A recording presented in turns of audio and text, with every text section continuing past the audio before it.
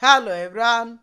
Today I'll show you how to remove text from a PDF document using Adobe Acrobat Pro DC. Firstly open your PDF document.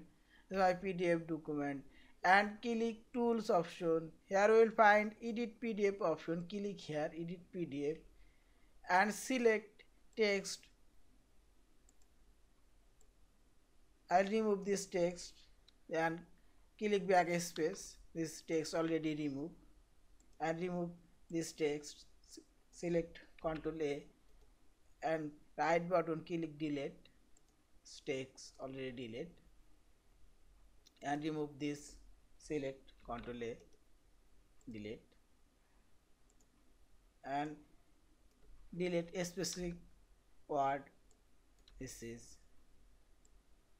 this is okay and finally click file option save as your pdf document.